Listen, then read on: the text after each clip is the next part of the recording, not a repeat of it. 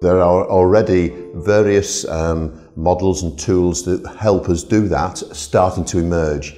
But even more, we've been working with the teams to, to find out how it could be achieved.